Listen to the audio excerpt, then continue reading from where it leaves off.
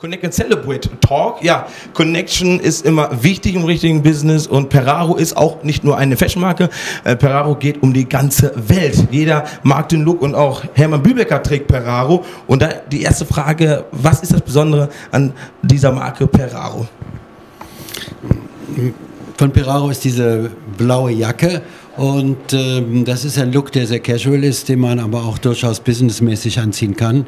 Äh, ein leichter Stoff, äh, ausgefallene Farben und äh, gibt einem ein, ein, ein Freudegefühl und man, man, man ist entspannt und, und genießt es. Jetzt muss ich aber sagen, ich äh, habe auch meine eigene Mode und meinen eigenen Look und ich versuche dann Peraro mit dem zu kombinieren und das ist auch wiederum ein Element äh, von Peraro, dass es gut ist, ähm, diese Mode mit ganz anderen Stilen zu kombinieren, weil äh, ich finde, jeder Mensch ist ein Individuum und jeder äh, zieht sich so an, wie es ihm gefällt und äh, es ist manchmal auch nicht gut, wenn man äh, komplett einen Style hat. Ich glaube, das Wichtige ist, wie auch im Leben, das ist die Vielfalt, dass man Dinge kombiniert, dass man sich an unterschiedlichen Dingen erfreut. Und das ist wiederum ein gutes Zeichen von Pirao, dass man so eine Jacke total mit anderen Dingen kombinieren kann und äh, kann sich wohlfühlen. Perfekt, ja. Armin Peraro ist ja ein Partner seit langer Zeit auch schon von mir und äh, tragt ja auch das eine oder andere super Stück und haben jetzt am 13.12. unser Event, unsere ähm, äh, Christmas-Party, Business Tainment und gleichzeitig mein Geburtstag in Familie in Klein.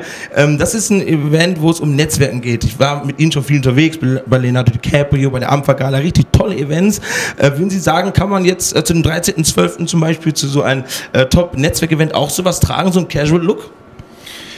Ich glaube ja, weil ähm, es wichtig ist, dass es zur Person passt. Und das ist ja überhaupt das Thema von Mode. Äh, dass man nicht irgendwelche Marken reproduziert, sondern dass man versucht, eine Einheit zu sein mit dem, was man trägt.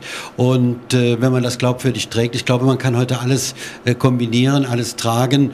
Und äh, es ist nicht der Anzug, äh, der den Formalismus äh, zu Ende bringt. Und es ist auch nicht nötig, einen Anzug zu haben, um netzwerken zu können. Man kann sogar manchmal sagen, jetzt ziehen wir die Jacke aus und jetzt reden wir mal Tacheles.